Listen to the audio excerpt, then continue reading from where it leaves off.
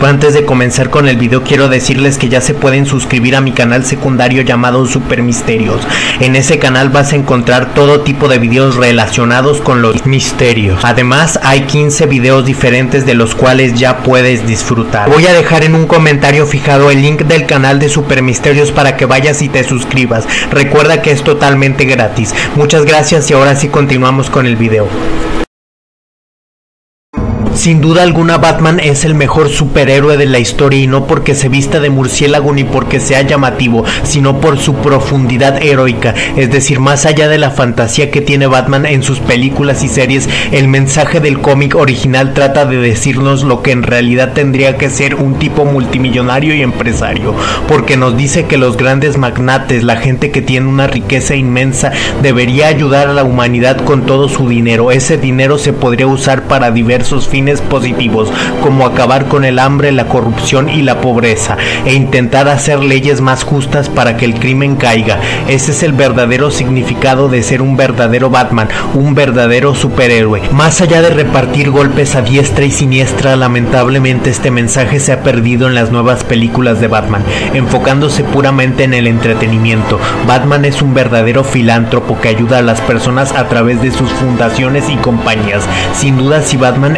en la vida real, tendría que ser una persona muy especial, pues para ser rico y bondadoso se necesita tener unos conceptos muy heroicos sobre la vida, así que sin duda alguna tal vez algún día en la historia de nuestra vida surja una persona extremadamente rica, la cual sea una persona que tome conciencia ante los problemas negativos que hay en nuestro mundo. Sería sin duda una persona que se volvería multimillonaria por medio de negocios y algún producto o algo que lo volviera muy rico. Esta persona no pertenece pertenecería a la élite oscura y tendría éxito sin ayuda. Esa persona sería el candidato ideal para ser Batman en la vida real. Seguramente con la ayuda de su dinero y recursos empezaría a combatir el crimen y los abusos en ciudades que se asemejan mucho a Ciudad Gótica, hablando en términos de corrupción y maldad, como por ejemplo las ciudades de México. Además donaría comida a los países muy pobres, donde la gente no tiene nada que comer como África y estaría resolviendo los problemas del mundo, aunque esto le tomaría mucho esfuerzo y dedicación,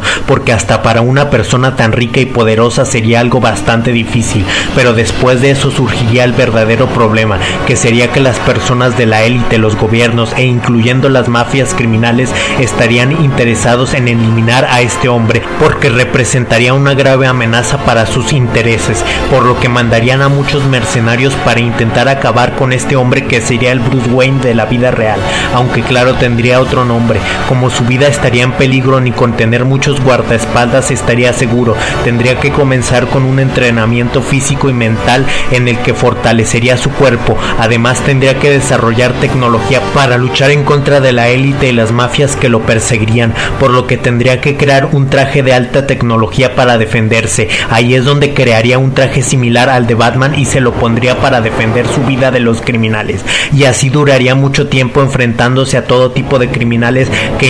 eliminarlo, pero lograría derrotarlos a todos. Pero al ver que estos mercenarios no pudieron hacerle daño, la élite, es decir, los hombres más ricos y poderosos del mundo, mandarían al ejército de los Estados Unidos para detenerlo y acabarlo. Sin embargo, nuestro héroe haría un plan para contrarrestar este ataque, que justamente sería escapar y retirarse por unos años, escapando a otra parte lejana y remota del mundo, donde ahí Batman habría ayudado a otros individuos a fundar sus empresas para que se hicieran multimillonarios y ricos. De esta manera ellos serían tan ricos como el propio Bruce, así que Batman habría instruido y guiado a estos 10.000 multimillonarios para que con su dinero financiaran a todo un ejército completo de hombres bien entrenados y capacitados para que se pusieran el traje de Batman, tuvieran su tecnología así como también el batimóvil para que combatieran el crimen en muchísimas ciudades del mundo como México, Nueva York y regiones peligrosas del mundo. De esta manera cada vez se sumarían más reclutas a este ejército que se convertiría en una especie de policía de la justicia